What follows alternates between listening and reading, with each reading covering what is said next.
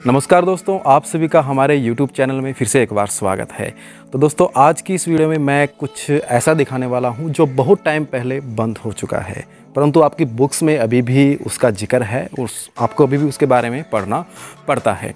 तो दोस्तों, उसका नाम है ड्रम स्विच। तो आज हम ड्रम स्विच देखने वाले हैं।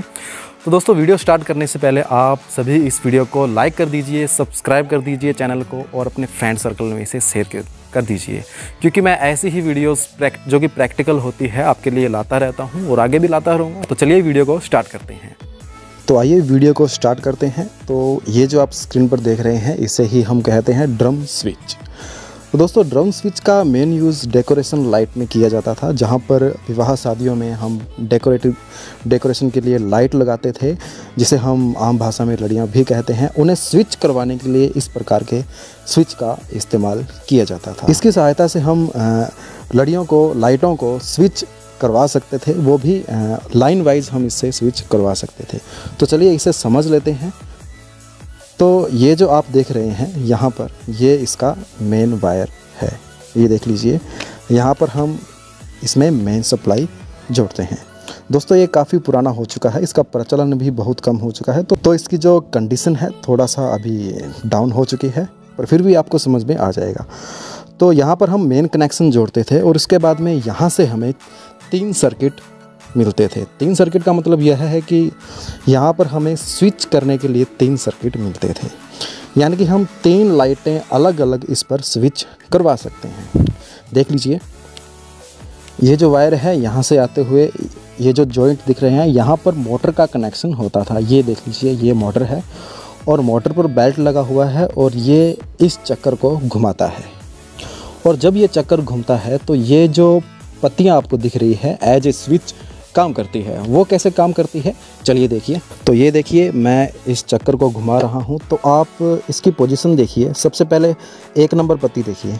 उसके बाद में दो नंबर पत्ती और उसके बाद में तीन नंबर। यानी कि जब ये घूमता था तो हमें लाइन वाइज लाइटों की स्विचिंग मिलती थी। तो ये आप आसानी से देख सकते हैं। दोस्तों इसके साथ ही आपको एक और सूचना देनी थी। सूचना यह है कि मैंने एक और नया चैनल बनाया है जिस पर मैं आपको रिपेयरिंग सिखाऊँगा रोबोटिक्स का कोर्स पूरा सिखाऊँगा। मतलब कि आपको प्रोजेक्ट बनाना भी सिखाया जाएगा। तो उस चैनल को भी आप सब्सक्राइब कर लीजिए। लिंक आपको डिस्क्रिप्शन में मिलेगा। तो आइए इसके कनेक्शन के बारे में हम बात कर लेते हैं। ये दोनों इसके मेन कनेक्शन हैं जो आपको स्क्रीन पर दिखाई दे रहे हैं। इसके बाद में यहाँ पर तो यहाँ पर ये जो वायर देख रहे हैं ये कॉमन वायर है।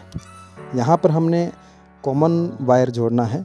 उसके बाद में ये जो आप तीन पत्तियों की वायर देख रहे हैं, यहाँ पर हमें स्विचिंग लाइन वाइज स्विचिंग मिलती है। जैसे कि मान लीजिए हमने तीन बल्ब इस पर जोड़े हैं तो सबसे पहले एक नंबर पत्ती वाला बल्ब ग्लो होगा, क्योंकि सबसे पहले वह पत्ती ऑन होती है।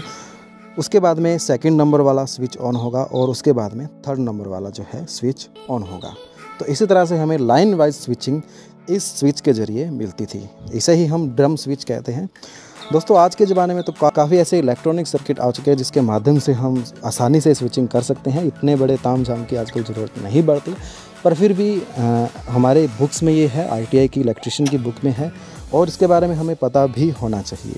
तो चलिए ये थी हमारी आज की वीडियो। उम्मीद करता हूँ आपको बहुत अच्छी लगी होगी। अगर अच्छी लगे तो वीडियो को लाइक कर दीजिए चैनल को सब्सक्राइब कर दीजिए और इस वीडियो को शेयर भी कर दीजिए।